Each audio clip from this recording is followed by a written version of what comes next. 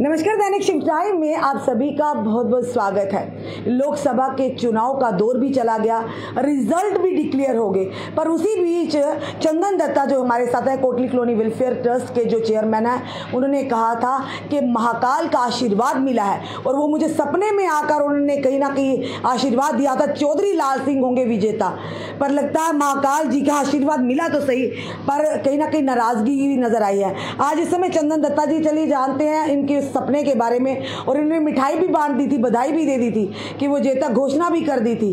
पर जनाब, ये जनता जनार्दन है और साथ ही साथ जनता जनार्दन के साथ जब तक आपकी किस्मत साथ ना दे आप भी कुछ भी पाना संभव, असंभव है। तो फ़िलहाल आज बात करते हैं, आज काले कपड़े पहनकर आए हैं। जय महाकाल जी। जय श्री महाकाल जय श्री महाकाल। आप बड़े भक्त हैं महाकाल जी के। बिल्कुल बिल्कुल। आपने डिक्लेयर कर दिया था चौधरी लाल सिंह जी की विजेता है। तो हमने आपको बोला था आप ऑन कैमरा कह रहे हैं फिर हम आपसे सवाल पूछेंगे। फिर कमियाँ कहाँ रहेगी आपकी भक्ति में? देखिए कमियाँ कहीं नहीं रह गई। मैं आपको बता दूँ कि जो इंसान जिसने पिछले साल की 2019 की अगर आप काउंटिंग करें या मतगणना देखें या फिर चौधरी लाल सिंह जी को देखेंगे पंद्रह हज़ार वोट मिले थे। पंद्रह हज़ार वोट से चार लाख पैंसठ हज़ार वोट लेना। और जो कांग्रेस की टिकट से उन्होंने चुनाव लड़ा, इस बार पिछली बार निर्दलीय लड़ा था, मैं मानता हूँ इस चीज़ को, मगर एक डेढ़ दो परसेंट वोटिंग शेयर से सीधा इकतालीस परसेंट वोटिंग शेयर लेना। आज डॉक्टर जितेंद्र सिंह जी का पचास परसेंट वोटिंग शेयर है। उधमपुर, डोडा और कठुआ कॉन्स्टिट्यूंसी में। और लाल सिंह जी का इकतालीस परसेंट है। ये हार नहीं हुई रश्मि जी, ये महाकाल की विजयी हुई है, जो दो परसेंट से जंप मार के सीधा एक लाख टाइम्स अठतीस परसेंट का जो जंप बजा है आप ये भी देखो। या पंद्रह हज़ार की बात करें चाहे लाखों की बात करें में हार- हारी बिल्कुल एक वोट से भी मानिए ना आप ये मत बोले ना छलांग मारी चार लाख तक पहुँची हुई तो हार ही है ना। बिल्कुल एक वोट से भी हारेंगे हार हुई है मगर इस हार में भी जीत है। इस आपने हिंदुस्तान में देखो जन, जनता ने कहा मतलब मतदान आज एक ना ईको की हार हुई है। जो ये कहता ना मैं इस मैं की हार हुई है।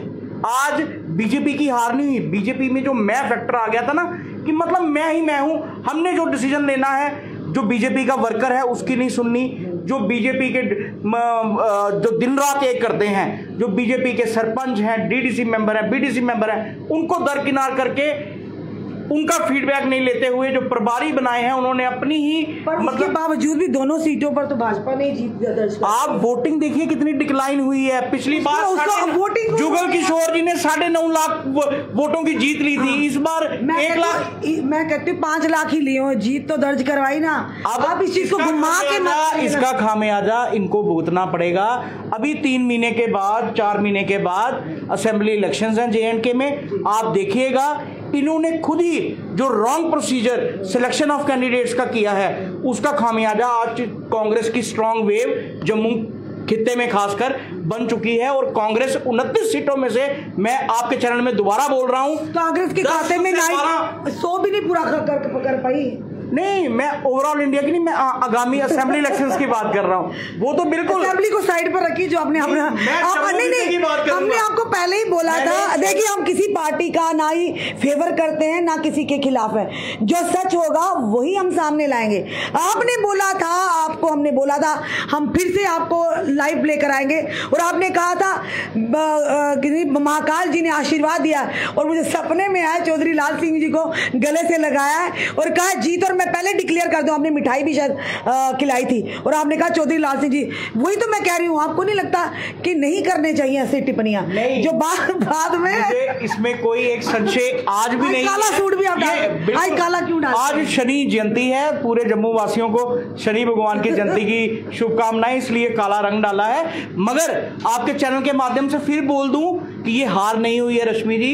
जम्मू कश्मीर में कांग्रेस का बहुत ज़्यादा रिवाइवल हुआ है। बीजेपी के रॉन्ग सिलेक्शन प्रोसीजर से कांग्रेस कभी रिवाइव नहीं करती जम्मू खित्ते में। ये जो भारतीय जनता पार्टी के तरुण चुग आशीष सूद ये जो आला अधिकारी बीजेपी की हाई कमांड है इन्होंने जो रॉन्ग टिकट्स डिस्ट्रीब्यूट की हैं जो बीजेपी के वर्कर्स को दरकिनार किया है मोदी फैक्टर मोदी फैक्टर फिर काम कर गया। मेरी मोदी फैक्टर कब तक? मोदी वही तो मेरा कहना था कि मोदी के नाम पे कब तक चौधरी लाल सिंह जी को समर्थन किया था ना कि कांग्रेस को। चंदन दत्ता ने आपके चैनल के माध्यम से बोल दूँ कि मैंने चौधरी लाल सिंह जी को समर्थन किया था। कांग्रेस ऐसे पार्टी को नहीं किया था। आपके इंटरव्यू में बोला था कि मैं कोई कांग्रेस का वर्कर नहीं हूँ। मैं वो जम्मू का वासी हूँ वो जम्मू का एक सोच रखने वाला उस सपने का क्या? क्या आपने झूठ बोला सपने का आप देखो ना कितने भारी मात्रा में सच में में। लोगों ने प्यार दिया चौधरी लाल सिंह को। सच में सपना आया था या अपने से ही नहीं, आपने अपने से नहीं आया चौधरी लाल सिंह को बदरवा से नगीना से पाडर से किश्तवाड़ से मैं आपको जो सवाल हूँ- रामबन से बनियाल से। सवाल को घुमाओ नहीं आप ऐसे घुमा रहे हो पॉलिटिशियंस की तरह। आपका मैं मानता हूँ- झूठ बोला था या सच बोला था नहीं नहीं वो वो सच हुआ है और वो आने वाले टाइम में आपको पता चल जाएगा। अभी दो सीटें राज्यसभा की मेंबर ऑफ़ पार्लियामेंट की कांग्रेस खाते से आएँगी। आप ये मत समझिए, चौधरी लाल सिंह और रमन बल्ला दोनों रेस में हैं। इन दोनों में से जम्मू की रिप्रेजेंटेशन पार्लियामेंट में पहुँचाने अब रेस से बाहर हो गए हैं। नहीं मैडम अभी राज्यसभा की एमपी की नॉमिनेशन आनी है। सुनिए, सुनिए। इनको टिकट मिलेगी? इंडिया तो सुनिए इंडिया गठबंधन ने बड़ा ज़ोर लगाया कि भाजपा को मात देनी है और बड़े बड़े दावे किए थे कि क्लीन स्वीप करेंगे और खुद ही दूरबीन लेकर मिले ही नहीं कहीं भी। देखिए स्ट्रांग सरकार फिर नहीं बन पाई भारतीय जनता पार्टी की। बड़ा क्लियर है पूरे हिंदुस्तान में जिसका एक बार तीसरा टेन्यूर मुझे प्रधानमंत्री फिर से बिल्कुल हम धन्यवाद करते हैं मोदी जी युग पुरुष है। धन्यवाद कर रहे मैं कहता हूँ जनता का जिन्होंने मैंडेट दिया तीसरी बार बना रहे हैं। मैंने मोदी जी पर टिप्पणी नहीं की मैंने खासकर जम्मू की जो बीजेपी की हाई कमांड है जिन्होंने एक रॉन्ग प्रोसीजर अडॉप्ट करके सिलेक्शन क्राइटेरिया जो कैंडिडेट्स का रखा वो जम्मू के बीजेपी के वर्कर्स और जम्मू की भावनाओं के खिलाफ किया जिसका खामियाजा अगर- भारतीय जनता पार्टी को। भारी मात्रा में वोटों की गिरावट के साथ चुकाना पड़ा अगर अगर फैसला लिया है हाईकमान ने पार्टी हाईकमान ने इसके बावजूद भी भाजपा के नेता ने तो दोनों जो जिनको कैंडिडेट थे पिछली बार दस लाख साढ़े आठ लाख नौ लाख वोटों से जीत होती है इस बार नब्बे हज़ार एक लाख वोटों से जीत पर होती है जीत तो हुई ना चाहे एक वोट से हुई है मुबारकबाद है, जीत हुई। आप कह रहे हैं जीत की बात नहीं है। आप देखिए एक वोट से जीत हो एक वोट से हारो। तो वो हार मानी जाती है जीत जीत मानी जाती है। अच्छा आपसे मैं पूछता हूँ। नब्बे हज़ार मेरे से आप बताओ मेरे से का रिवाइवल हुआ कि नहीं हुआ? मेरे को क्यों पूछ रहे वजूद में नहीं थी कांग्रेस कार्यकर्ता थोड़ी नहीं मैं कह रहा हूँ मैं एज ए जर्नलिस्ट आपसे पूछ रहा हूँ। मैं क्यों बताऊँ? नहीं, आप मैं किसी पार्टी से नहीं मैं क्यों बताऊँ? नहीं जम्मू के कांग्रेस के नेताओं सवाल कि अगर कांग्रेस का इक्यावन परसेंट वोट शेयर रमन बल्ला ने जम्मू रीजन से लिया है दैट मींस की कांग्रेस का रिवाइवल हुआ है। ये बात तो माननी पड़ेगी। जम्मू के लोगों को माननी पड़ेगी मीडिया को माननी पड़ेगी। लोग लोग ये कह रहे हैं कमीशन के आंकड़े बता रहे हैं। लोगों ने आंकड़े बता रहे हैं। भले ही एक तरफ़ से अगर बात करें उदयपुर कटवा डोडा की सीट से डॉक्टर जितेंद्र सिंह जीते हैं। भले ही जम्मू रियासी सीट से जुल किशोर शर्मा जीते हैं पर जो हमारे वीडियोस पर कमेंट आए हैं सारी जनता ने भले ही भाजपा के कार्यकर्ता हो भले ही विपक्ष हो सबने कहा हमने वोट जो दिया है मोदी जी को दिया है इन दोनों के चेहरे देखकर नहीं दिया। ये साफ़ तौर पर इसे कहने से हम पीछे नहीं हटेंगे। हो सकता है इसका परिणाम जो आने वाले असेंबली इलेक्शन में भाजपा को भुगतना पड़े। क्योंकि साफ़ तौर पर उन लोगों ने लिखा कि हमने इन चेहरों को देखकर नहीं दिया। चाहे वो डॉक्टर जितेंद्र सिंह जी हैं, चाहे वो जुगल किशोर शर्मा जी, उन्होंने कहा कि हमने अगर वोट दिया सिर्फ़ मोदी जी को दिया, आप दोनों को नहीं दिया। नहीं दिया, बिल्कुल।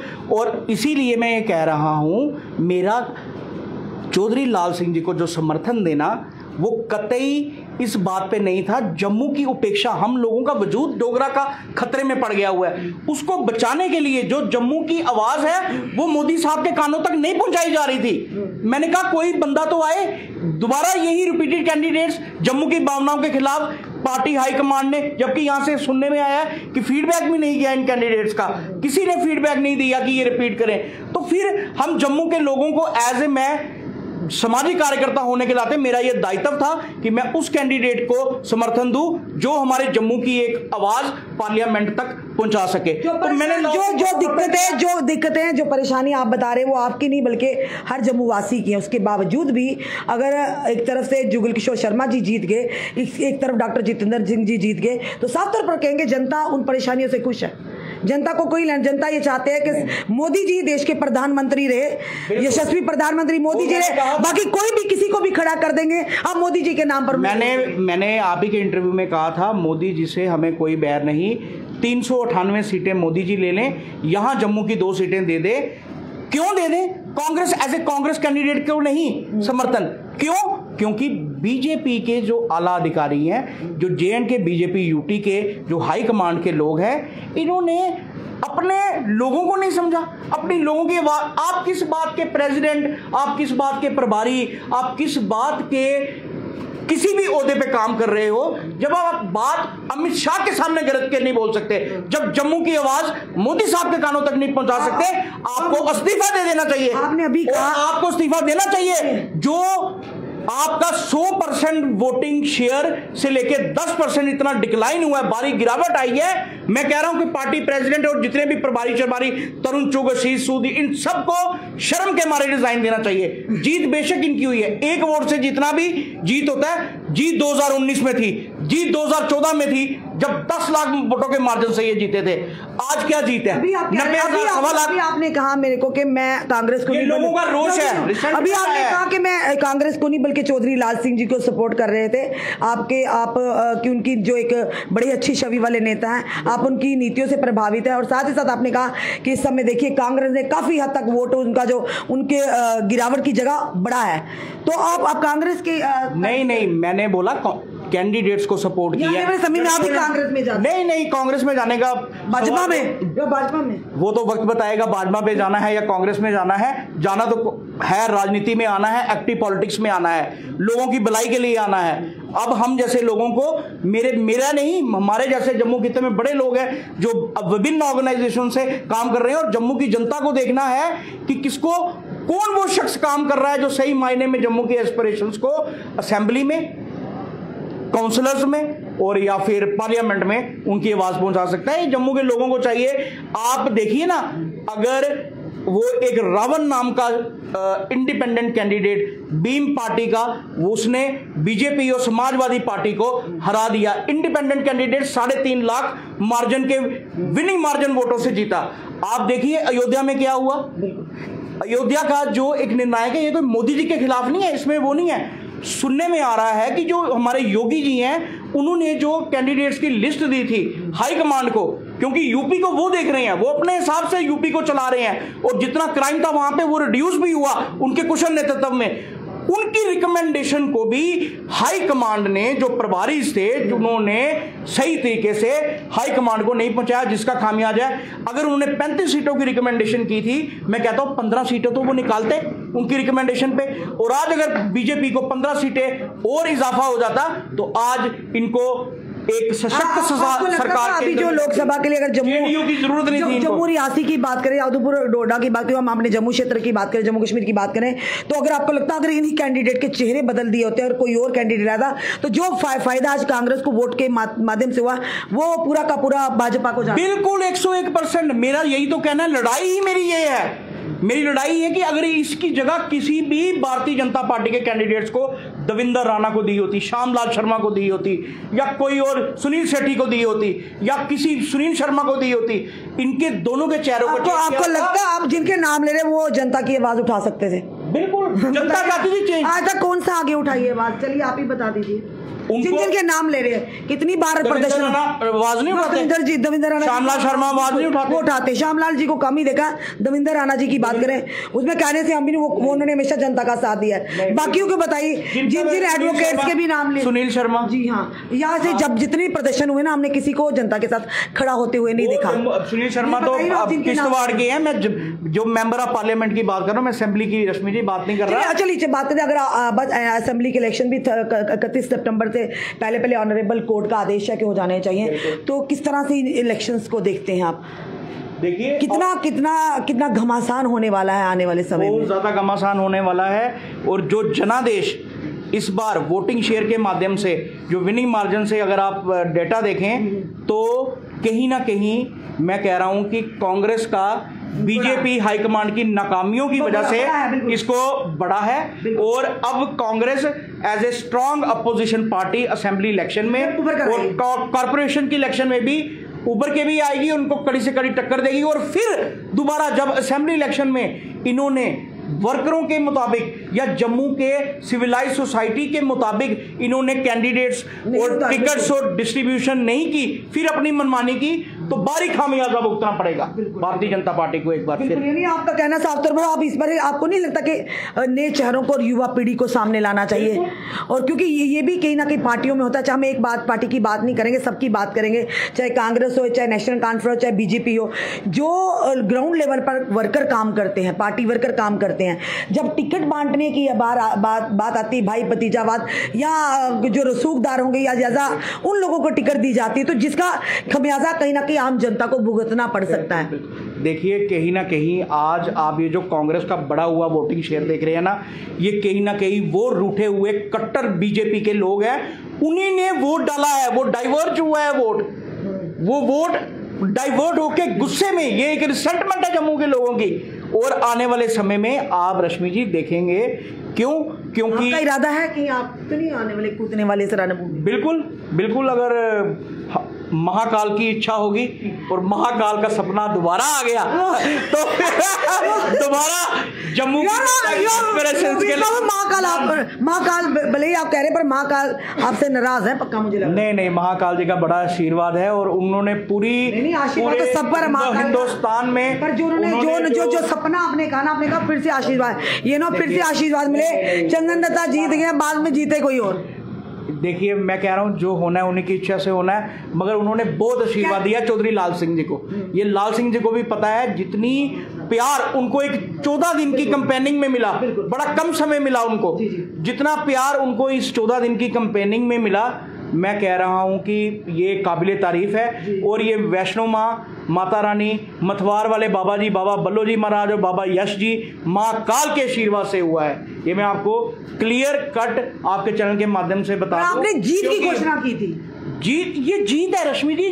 खाली एक नंबर लेके एक सेलिब्रेशन आप देखिए। जीता सेलिब्रेशन की हमने सेलिब्रेशन मैंने तो मिठाई बांटी मैंने सेलिब्रेशन की है आप चेहरे पे खुशी देखो ना मेरे मेरा मुँह कैसे लाल हो गया हुआ है। लाल आप देखो इससे बड़ी खुशी क्या है? आज मैं गारंटी से कह सकता हूँ कि चौधरी लाल सिंह जी ने जो भारी वोट लिया है जो पीएमओ में बैठे हुए हैं अब उनको पीएमओ की कुर्सी नहीं मिलेगी। जो 2014 से लेके 2024 तक प्राइम मिनिस्टर ऑफ़िस में पीएमओ के मंत्री बन के बैठे थे, अब उनको भी पता चल गया, सेंटर की हाई कमांड आला अधिकारियों को भी पता चल गया कि कितना कार्य किया है और वर्कर्स उनसे कितने खुश हैं। अब कहीं ना कहीं जो मिनिस्ट्रीज हैं, वो भी सोच समझ के बांटी जाएँगी और वो एक मेंबर ऑफ़ पार्लियामेंट सांसद की भूमिका ही निभाएँगे। और चौधरी लाल सिंह जी के जितने भी समर्थक हैं, मैं उनको आश्वासन देता हूँ कि उनके कोई भी काम होंगे वो चौधरी लाल सिंह दिन रात एक करके उनके काम कराएँगे हम कराएँगे। हम वो जनता के बीच में रहने वो रहने वाले जनता इस वक्त हमने पहले ही कहा था जनता जिसके सर पर जीत का सहरा मान देगी जनता का आखिरी फैसला निर्णय ही सर्वोप्रिय होगा। तो कहीं ना कहीं जनता का फैसला था भले ही एक वोट के जीते या एक वोट से हारे। तो जनता ने फैसला किया कि फिर से तीसरी बार हैट्रिक मारी है चौधरी यानी कि डॉक्टर जितेंद्र सिंह जी ने और साथ ही साथ जुगल किशोर शर्मा जी ने। तो जनता के फैसले को तो हम नहीं नकार सकते पर वहीं पर। वहीं पर अगर वही अगर बात बिल्कुल अगर वही बात करें वो एक तरफ़ से चौधरी लाल सिंह काफ़ी भारी मात्रा में उन्हें भी भर भर कर लोगों ने जोलियाँ भरकर वोट दिए भले ही वो जीते नहीं पर वोट जो है उनका काफ़ी जनाधार बढ़ा है। और इसी तरह रमन बल्लाची की बात करें उन्हें भी जोलियाँ भर भर कर लोगों ने वोट डाले। तो ये कहीं ना कहीं दर्शाता है कि आने वाले असेंबली इलेक्शन में अगर जम्मू कश्मीर में होते हैं तो कहीं ना कहीं कांटे की टक्कर होगी भाजपा और कांग्रेस में।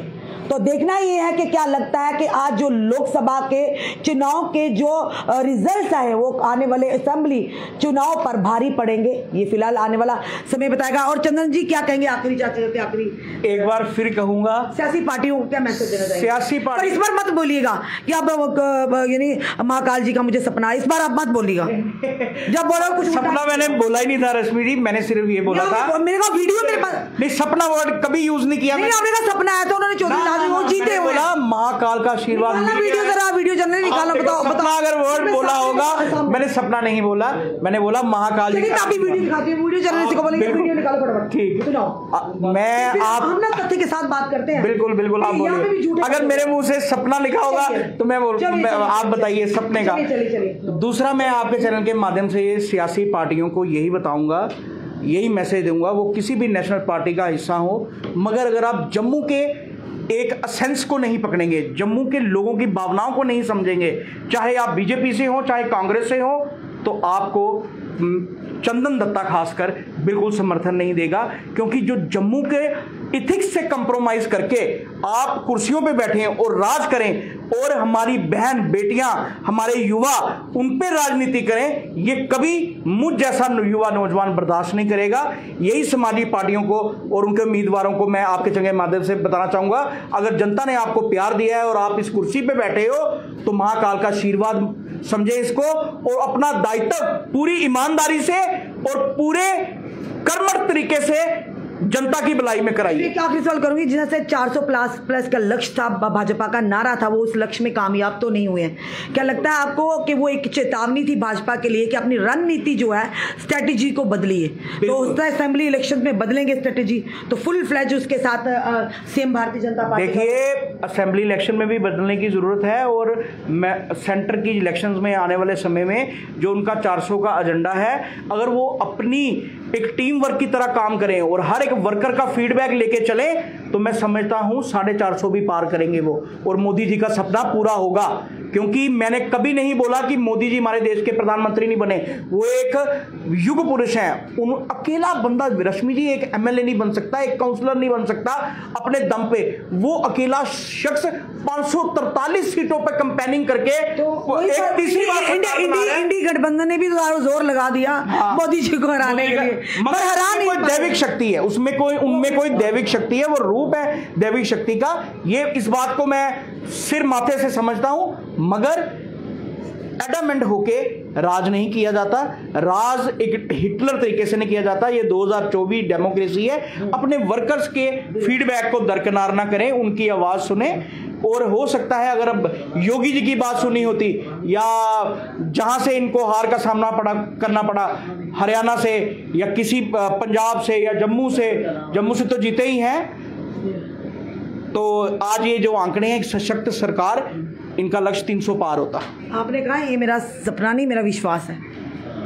मैंने मैंने बोला मेरा भी बोला मैंने नहीं बोला। मैंने बोला सपना नहीं है। नहीं, मैंने बोला आपने कहा ये सपना तो आया पर ये सपना नहीं समझो ये विश्वास समझो। ना मैंने मैंने सपना वर्ड यूज़ नहीं किया। मैंने मैंने विश्वास बोला। सपना आपने बोला। आप बोलिए बताइए। चलिए माइक सुना रहे हैं कि कहीं ना कहीं सपना आपने देखा और सपने में महाकाल जी ने लाल सिंह जी को देखिए सपना नहीं वो एक विश्वास है। सपना नहीं मैनिफेस्टेशन होती है जब वो इशारा है। बोला तो सही ना आपने आपने हमें बोला तो तब बोला सपना है। मैंने कहा सपना नहीं रश्मि विश्वास है। ये विश्वास है। मेरा महाकाल पे विश्वास है। पक्का माना आपने माना भी सुन लिया माना माना। यार आप भी पक्के पॉलिटिशियन बन गए हारा मैं पॉलिटिशियन घुमाते हो। अरविंदर गर्मी की बहुत इज़्ज़त करता हूँ। अरविंदर राणा जी जम्मू के मीडिया को प्रणाम करता अरविंदर राणा जी से सवाल करो ना। गोल गोल गोल जलेबी की तरह घुमाते हैं। जय महाकाल। जय महाकाल हमें कोई दिक्कत नहीं है। धन्यवाद, बहुत बहुत शुक्रिया। चलिए जी, ये थे हमारे साथ कोटली कॉलोनी वेलफेयर के प्रधान चंदन दत्ता जी और सोशल एक्टिविस्ट, यानी समाज सेवी चंदन दत्ता जी। हमेशा सुर्खियों में रहते हैं, इसलिए कि जब कोरोना काल से हम इन्हें वॉच करते हैं, तब से इन्होंने गरीबों की मदद करना शुरू किया। समाज में एक नई दिशा देने का प्रयास करते गरीबों के साथ खड़े होते हैं। हाँ पर जब भी ये ये भड़कते हैं ना, ये जो इनका रूप आता था ना, आप भी डर जाते होंगे। आज हम भी डर रहे थे, काले कपड़े भी पहन के आए कि का वो रूप ना जाए। तो इसीलिए चलिए जानना भी ज़रूरी था कि जो इन्होंने कहा था उस समय पर इन्होंने कैसे आगे से अपनी उन सवालों का जस्टिफिकेशन दिया है। और चलिए देखना कि क्या आने वाले समय में अगर असेंबली इलेक्शन होते हैं तो चंदन दत्ता भी उस रणभूमि में उतरेंगे चुनावी रणभूमि में। ये तो फ़िलहाल आने वाला समय बताएगा। ज़रूर अपने कमेंट सुझाव हमें ज़रूर दीजिएगा इस वीडियो को जितना सके। शेयर कीजिए और उम्मीद करते हैं आपने ज़रूर इस वीडियो को एंजॉय किया होगा। जुड़े रहिए ऐसे हमारे साथ अगले अपडेट के लिए। जय हिंद जय भारत।